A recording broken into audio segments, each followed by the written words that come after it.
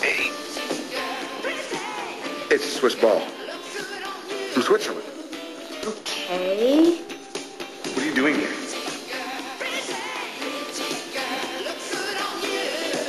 See you, sir.